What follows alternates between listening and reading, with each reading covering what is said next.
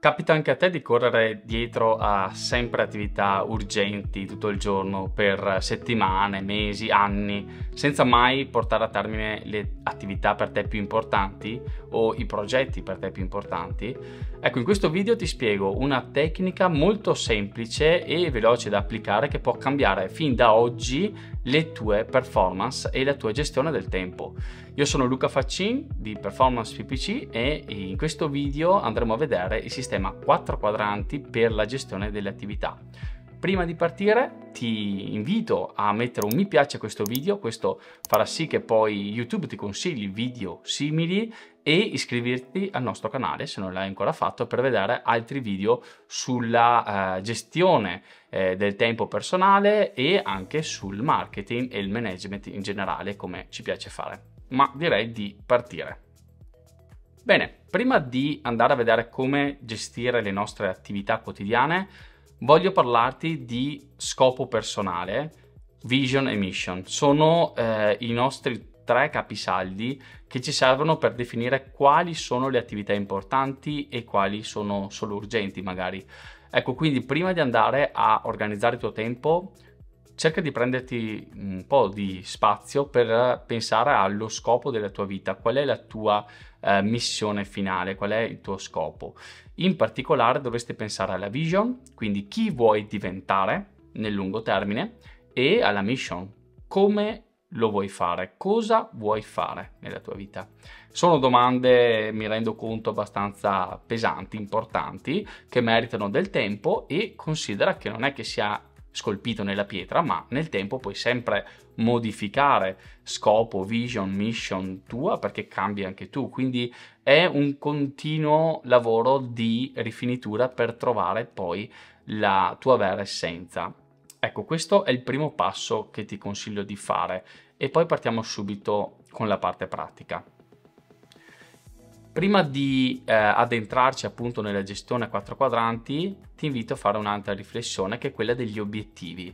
Pensa ai tuoi obiettivi di vita e in particolare dividili in tre livelli. Gli obiettivi lungo termine, quindi parliamo di 20, eh, 10 anni, eh, fasce da 20-10 anni, quindi per esempio potresti pensare che cosa voglio fare entro i 20 anni, che cosa voglio fare entro i 30 anni o che cosa voglio fare entro i 50 anni, 60 anni, 90 anni. Quindi darti degli obiettivi per queste fasce d'età. Per esempio potrebbe essere che una persona fino ai 20 anni eh, vuole studiare, dai 20 ai 30 anni vuole imparare il lavoro nella pratica.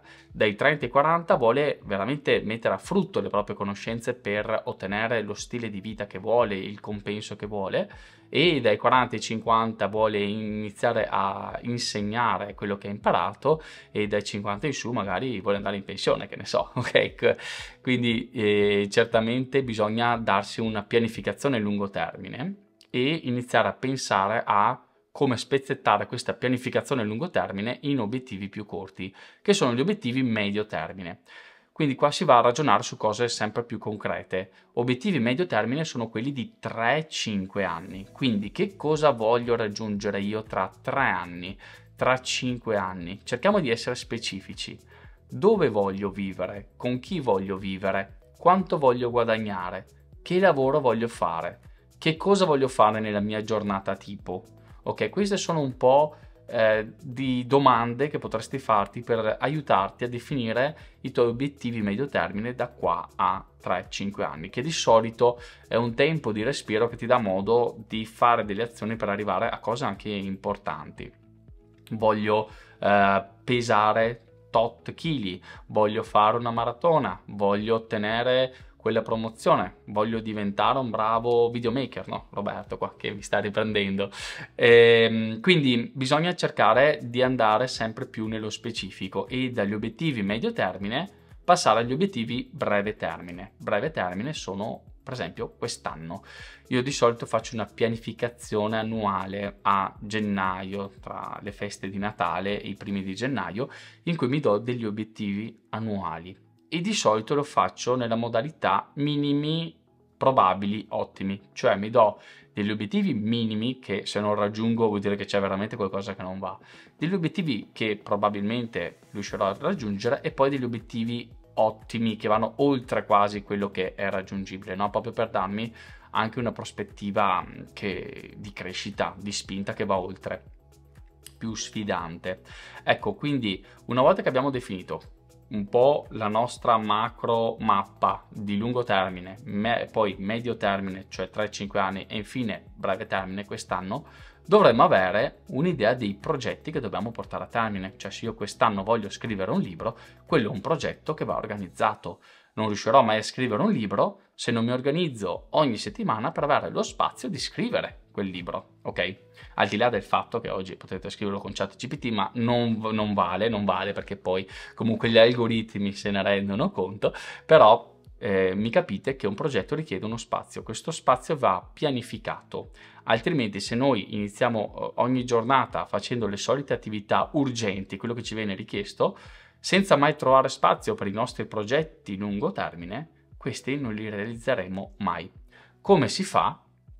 Un metodo utile è quello del sistema a quattro quadranti, eh, chiamata anche la matrice di Eisenhower e spiegato nel libro di Stephen Covey eh, Le sette regole per avere successo, uno dei primi libri di crescita personale che ho letto.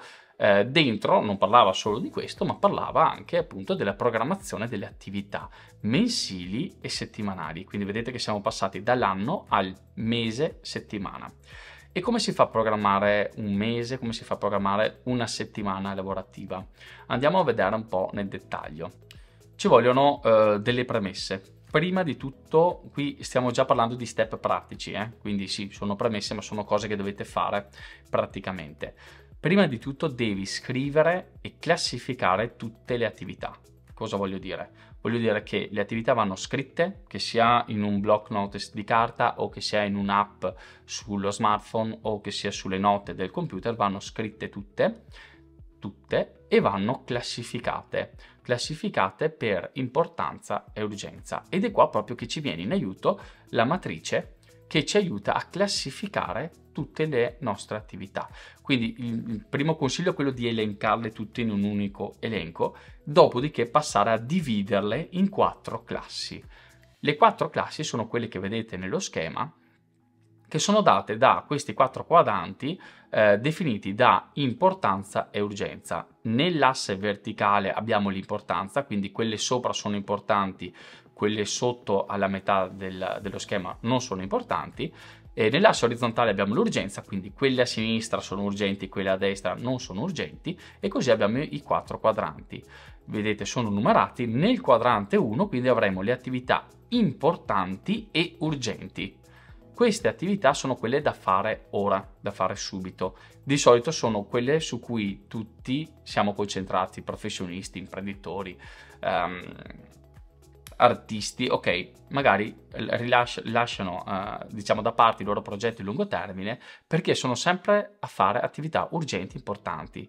Ehm, potrei farvi degli esempi, di solito sono attività brevi, di breve durata, eh, che poi hanno un'urgenza che può essere anche relativa, bisogna valutarla, però potrebbe essere effettivamente urgente mandare una fattura, fare una telefonata al commercialista, ehm, spedire quella busta, sono tutte attività di breve termine, ma che devono essere fatte nel più breve tempo possibile perché sono importanti, è importante farlo ora. Ecco, questo è solo uno dei quattro tipi di attività, però.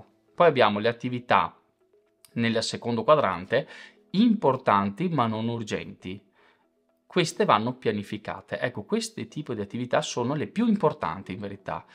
È qui che vanno elencate le attività per esempio come quella di scrivere un libro, no? eh, quindi scrivere il capitolo 1, scrivere il capitolo 2, sono pezzettini di un progetto lungo. Perché sono importanti? Perché riguardano un nostro progetto a lungo termine, per esempio scrivere il mio libro. Ma perché non sono urgenti? Perché non cambia niente se il libro non lo scrivo oggi ma lo scrivo domani, no? Teoricamente non cambia niente cosa cambia se il capitolo 1 lo scrivo lunedì piuttosto che alla fine della settimana, venerdì, eh, o se il libro lo pubblico quest'anno piuttosto che nel 2027. Stiamo parlando nel 2024 quest'anno. Eh. Quindi ehm, di fatto non c'è nessuno che ci corre dietro, per questo non sono urgenti, ma in verità se noi rimandiamo sempre queste attività, cioè procrastiniamo continuamente, eh, succede qualcosa di molto grave, che i nostri progetti più importanti non si realizzano. Ecco perché queste attività vanno pianificate nel calendario. Poi abbiamo gli altri due quadranti che sono meno importanti eh, per certi versi, che sono il quadrante 3 delle attività che sono urgenti ma non importanti e queste attività noi consigliamo di delegarle, ossia eh, devo... Mm, Vediamo se mi vengono degli esempi anche qua, dipende un po' da quello che fate, però per esempio io se devo inviare una fattura è una cosa urgente, ma non è importante che la faccia io, quindi la farò fare all'impiegata che invia la fattura. C'è da chiamare un fornitore per ricordargli che deve produrci uh, quel determinato servizio, è urgente, però non è importante che lo faccia io, posso delegarlo magari. Ecco, magari qui cerchiamo di mettere tutte le attività che in effetti dobbiamo fare urgentemente, ma fermiamoci un attimo e pensiamo, posso farle fare a qualcun altro? Eh, tanti imprenditori non pensano a mh, mm, questa cosa e tendono a voler fare tutto da sé. Su questo posso consigliarvi un libro che 4 Hour Week, 4 ore, non so in italiano come sia tradotto, 4 ore a settimana, che spiega come lavorare 4 ore a settimana, per modo di dire, proprio delegando tante attività. Ok. Ultimo quadrante sono le attività non urgenti, non importanti e che consigliamo di saltare, eliminare. Potrebbero essere mh, mm, andare al bar tutte le sere a giocare a freccette, che ne so, magari per voi è importante perché vi svaga, quindi non riguarda queste attività, però magari invece se ci pensate dite ma in verità vado per abitudine, ma non è una cosa che è, è importante fare, non è una cosa urgente, guardare la, il telegiornale la sera magari non è un'attività né urgente né importante, potrei anche saltarla e dedicare quel tempo a delle attività eh, più profittevoli. Eh, quindi ci sono tante attività anche che eh, sul quadrante 4 che sono da rimandare, magari noi diciamo un giorno forse lo farò, ok? Non è un'attività né da fare subito né da pianificare, la metto da parte, la lascio là, ok? Oppure sono proprio attività da eliminare, non lo so, per esempio eh, fumare tutti i giorni due pacchetti di sigarette, ecco, magari è un'attività che se elimino risparmio soldi, tempo eh, per andare a comprarle e tutto quanto. Quindi fa parte del quadrante 4. Bene, fatta questa premessa, poi dei quadranti ci sono tanti video che ne parlano, a me interessa farvi vedere come metterli poi a calendario. Ok, quindi andiamo subito a, a bomba. Qui c'è uno schema che vi può aiutare a classificare ogni attività, cioè quando vi arriva un'attività da fare, che sia eh, venuta fuori per conto vostro, da una vostra idea o che sia venuta dall'esterno, qualcuno che vi dà qualcosa da fare, dovreste ragionare seguendo questo schema. Quindi ehm, la prima cosa da chiedervi è se l'attività è fattibile e se ha senso farla subito. Se la risposta è no, eh, la mettiamo subito nel quadrante 4, nella lista del un giorno magari, ok? Eh, potrebbe essere per esempio aprire una gelateria nel mio paese. È fattibile? Non adesso, ok? La metto nel quadrante 4. Poi, se invece l'attività è fattibile, dobbiamo pensare se è composta da un'azione o più azioni. Se è composta da più azioni, cioè maggiore di un'azione, eh, quindi per esempio scrivere un libro non è un'azione, cioè non è che lo scrivete tutto in un fiato, eh, è composto da molte azioni, perché prima dovete pensare al titolo, poi allo schema, eh, poi farvi una mappa mentale, poi scrivere eh, uno schema più dettagliato dei capitoli magari, poi riempire il primo capitolo, poi il secondo, poi il terzo, poi fare la revisione, poi la copertina, poi le pubblicazioni, ci sono tante attività, capite? Quindi questo è un progetto, quindi se è maggiore di un'azione vado su progetti. Se invece è un'azione, cioè una cosa che ha un inizio e una fine, quindi per esempio scrivere una mail per vendere il mio servizio alla mia lista email, è un'azione che ha un inizio e una fine, posso fare tutto in un colpo, allora vado avanti nel mio schema e penso, è un'azione che dura meno di 5 minuti o è un'azione che dura più di 5 minuti? Se è un'azione che dura meno di 5 minuti, la metto nel quadrante 1, cioè fallo subito. In questo quadrante, che è sostanzialmente una checklist di attività, metterò tutte le attività Q1, quindi quadrante 1, importanti, urgenti, in ordine di priorità. Quindi non vuol dire che l'ultima che mi assegnano è la prima che vedo, ma vado a metterla in priorità con le altre, questo è importantissimo. Se invece l'attività è maggiore di 5 minuti, a questo punto faccio delega eh, oppure la calendarizzo, cioè o la metto nel quadrante 2, delle cose importanti ma non urgenti, perché è troppo lunga, capite? Non posso fermare la mia giornata per fare un'ora a scrivere una mail di vendita per i miei clienti. È una cosa che devo pianificare. Oppure devo delegare. Se la delego, vuol dire la metto nel quadrante 3, per esempio la faccio scrivere a un copywriter, un freelance che trovo su internet magari, io quando la delego devo stare eh, attento che venga eseguita, quindi delega e attendi e controlla che venga eseguita.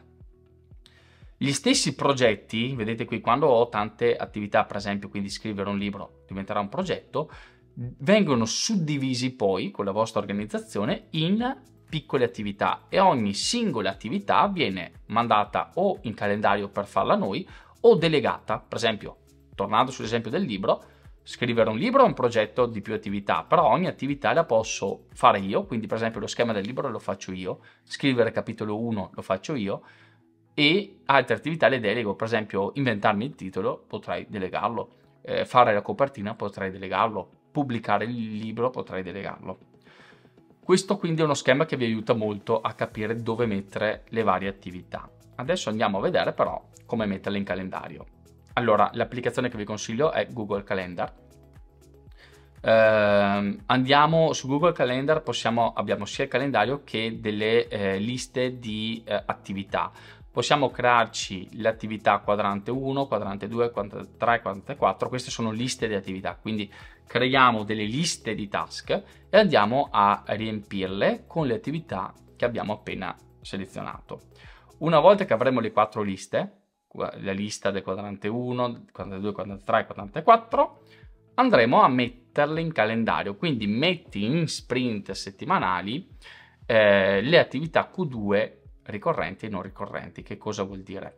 Vuol dire che io faccio una pianificazione di solito la domenica per tutta la settimana a seguire. Quindi mi metto lì la domenica mattina, vedete, mh, dalle 9 alle 10, pianificazione della settimana che arriva. Apro la mia lista Q2 quindi delle attività importanti e non urgenti, e vado a selezionarne un tot di queste prime attività che chiamerò eh, sprint, cioè sono quelle che andrò a fare nella settimana che sta arrivando. Quindi ne prendo le prime 5, 6, 10, dipende da quanto sono impegnative queste cose, quanto tempo avete voi, e le metto in da fare settimana prossima. A questo punto io le prendo da questo sprint che poi ho diviso per ruoli lasciate stare, voi tenetela semplice, avete un elenco di attività, vado a prendere queste attività e le metto nel calendario occupando gli spazi. Quegli spazi sono blindati, sono dedicati alle attività Q2. Quindi se qualcuno mi chiede di fare qualcosa di urgente in quell'orario, io non posso farlo perché devo fare le attività Q2. Non è urgente, ma se non la faccio il mio progetto non si realizzerà mai. Quindi è importante che rispettiamo gli spazi che ci diamo. Ecco perché, ehm, primo, allora se siete dipendenti, quindi il vostro tempo viene controllato da altri, magari mettete queste attività nei tempi vostri, quindi la mattina presto o la sera tardi, io l'ho fatto per anni. Se invece siete imprenditori professionisti, pensateci bene a qual è il vostro spazio più produttivo. Io per esempio le metto alla mattina. Infatti c'è anche una tecnica che insegna a mettere le attività in base alla loro natura in diverse fasce orarie. Per esempio, nella prima fascia della mattina noi lo chiamiamo me time, metto le attività più importanti per me, per esempio scrivere il libro. Nella seconda parte della mattinata fino al primo pomeriggio noi lo chiamiamo make time, cioè il tempo di lavoro, è il tempo dove siamo anche più produttivi e lì facciamo le attività per il nostro lavoro, quindi potrebbero essere per i nostri clienti. E infine l'ultima parte del pomeriggio magari abbiamo meno energie, eh, siamo meno concentrati, lo dedichiamo a eh, parlare con gli altri, interfacciarci con, con, il team, con i fornitori, con i clienti, lo chiamiamo meet time. Questo è uno schema che può aiutare per chi può eh, applicarlo. Io ho la fortuna di applicarlo da anni e potermi gestire le, le attività e questo mi ha aiutato molto a velocizzare e applicato vi dà uh, sicuramente modo di essere molto più produttivi. Eh, c'è da dire una cosa prima di andare avanti. Mm, questo è un sistema che eh, cresce nel tempo, migliora sempre di più. Cioè voi all'inizio partirete che state facendo quasi solo attività Q1, importanti, urgenti. Nel momento in cui iniziate a smaltire attività Q2, diventeranno sempre di più gli spazi nel vostro calendario dedicati ad attività importanti e sempre meno quelle urgenti. Perché? Perché tra le attività Q2 probabilmente ci sarà molta delega, molto insegnamento agli altri. Questo fa sì che voi delegando agli altri andate a ridurre le attività Q1 e quindi avete sempre meno urgenze mentre andrete ad aumentare nel tempo sempre di più le attività Q2 che faranno sì che ancora diminuiscano le attività importanti, urgenti di tutti i giorni, ma che eh, diciamo possiate dedicare più tempo alle attività Q2. Eh, io per esempio oggi posso dedicare tutte le mattinate che voglio alle attività Q2, mm, non ho urgenze, devo sentire il mio team, i collaboratori al pomeriggio, ma la mattina ho creato un sistema di asset miei che mi hanno permesso di vivere di quello che ho creato in passato. Quindi ho creato corsi, ho creato aziende, ho creato eh, libri che mi danno modo di liberare il mio tempo. Mi spiego? Quindi se seguite questo sistema avrete sempre più tempo libero che potrete dedicare a attività più importanti che vi daranno sempre più tempo libero. Ok, questo è il concetto fondamentale. Andiamo avanti veloce perché questo video se no diventa lunghissimo, giusto Roberto? Non so quanti minuti siamo, lascia tutto non tagliare che mi piace un po' eh, così informale.